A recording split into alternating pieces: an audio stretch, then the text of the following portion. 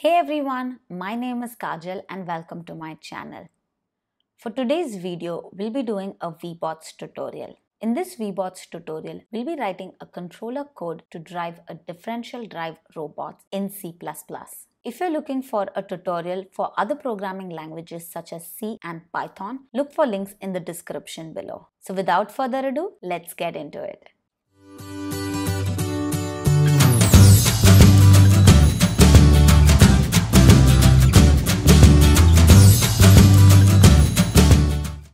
I'm starting here with a Webots world and a custom differential drive robot that was built in a previous video. I'll add a link to that video in the card on the top right corner or in the description below. You can also use another differential drive robot such as ePuck which is available in the Webots library. Now let's write a controller code in C++. To do this, go to the menu bar on the top and click on Wizards, New Robot Controller. Webots should give you a pop-up saying New Controller Creation. Click Continue. Choose Programming Language. I'm choosing C++ and click Continue. You can name your controller.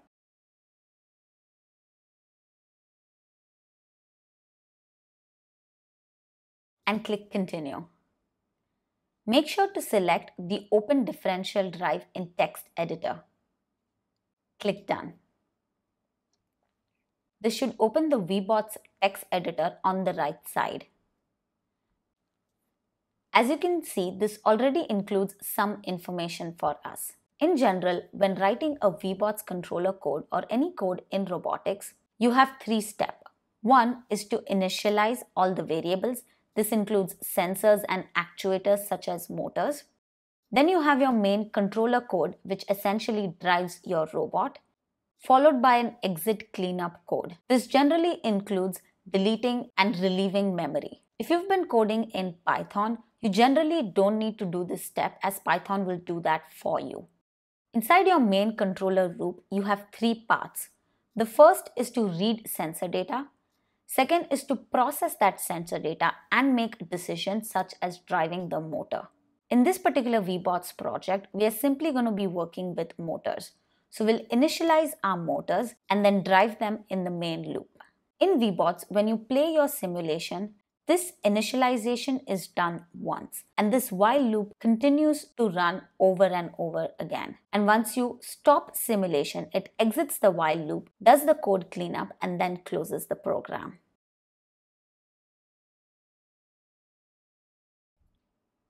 This while loop runs continuously for each time step as you can see here, time step is defined. We will change this and use a continuous time step of 64 milliseconds.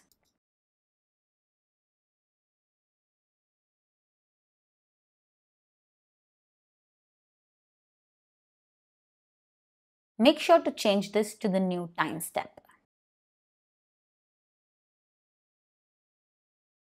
Next, we'll define our motors. As you can see in the helpful information here, it already talks about how to do this using the get motor function. And as you can see, you will also need motor name. To do this, go to the Webots scene tree. Click on robot and expand it. Under children, look for hinge joint, device, rotational motor. As you can see, our motor is named motor 1. You can look at the second hinge joint and under device, you can see the second rotational motor is called motor 2. If you're using another differential drive robot such as ePuck, which is available in the Webots library, make sure to convert it to base node so you can look at the motor names. Alternatively, you can also go to the Webots website and look at the documentation to get the motor names. With that, let's go back to our Webots C++ controller code. We also need to include the Webots motor header file to use motors.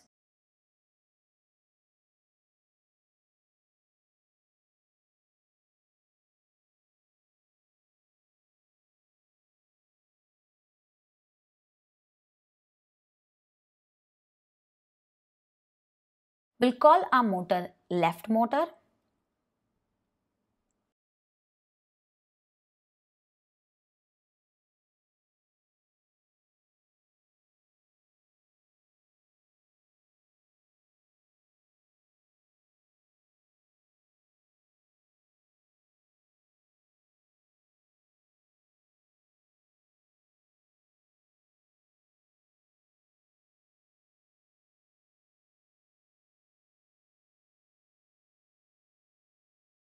and similarly will define the right motor.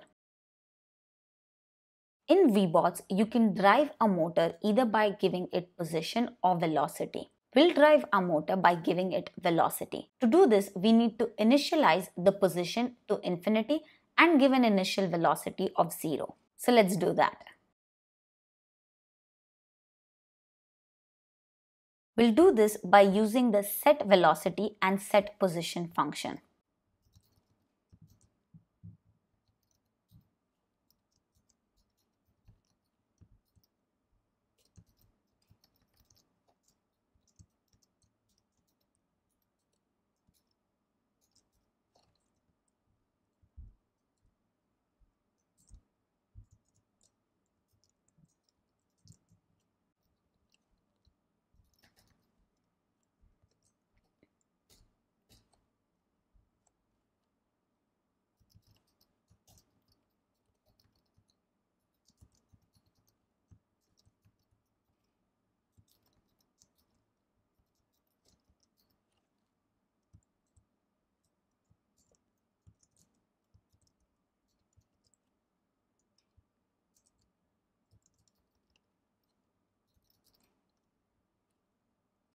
Make sure to keep saving your code in Webots.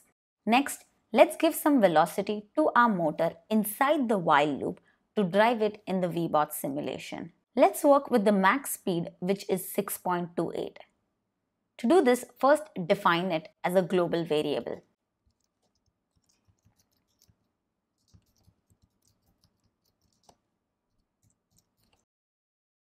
Coming back to the while loop, let's set the velocity of both of our motors to max speed.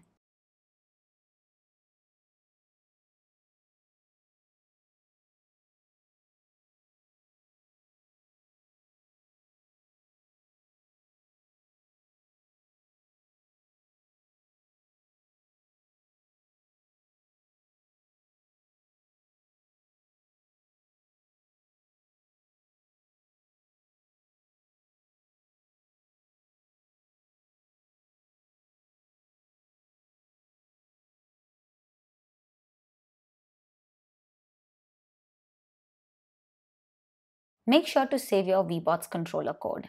As we are coding in C++, we need to build our code before being able to use it. Use the setting symbol to build your code. If you hover over it, you can also see it will say build the current project. And let's reset. Now an important thing to do in Webots is to give this controller to your robot. To do this, go back to the Webots scene tree and under your robot, look for an option called controller. Click on that and click on select. Next, look for your controller code, select it and click OK. And make sure to save your Webots world. Next, let's run the simulation by clicking on play. As you can see, I got a warning and this has happened to me quite a few times. Just reset the world and try again. And if that doesn't work, then look at your controller code. As you can see, it's working and it drove forward. Next, let's look at how to drive a differential drive robot by giving different speeds to left motor and right motor. For a differential drive robot, there are two ways to turn your robot around either stop one wheel or slow it down and let the other wheel go at the same speed, or turn the wheels around in different directions. So let's say you want to go left. You turn your left wheel backwards and you turn your right wheel forward. And in this way, your robot can take a left. Now let's give that a try. To do this, go back to your Webots controller code and change the speed for left and right motor. Let's try and give our left motor negative max speed and our right motor positive max speed. Once again, make sure to save your code and build it again. Let's reset our Webots world and click play to run the simulation. As you can see, the robot is turning in its own place. If I were to change this such that my right motor has max negative speed and my left motor has positive max speed, the robot will turn in the opposite direction in Webot simulation. Let's give that a try.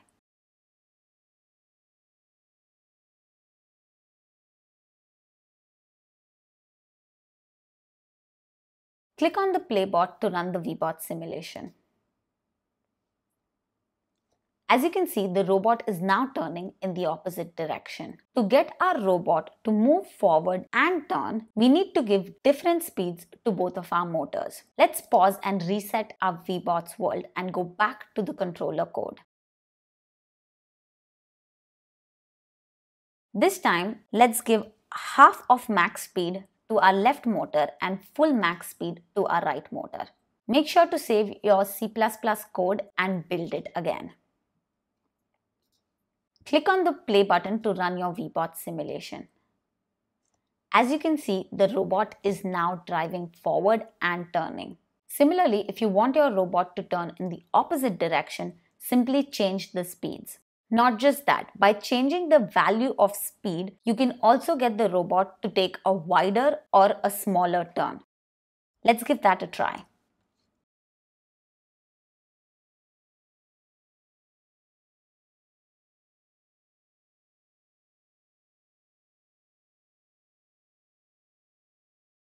As you can see, the robot is now taking smaller turns.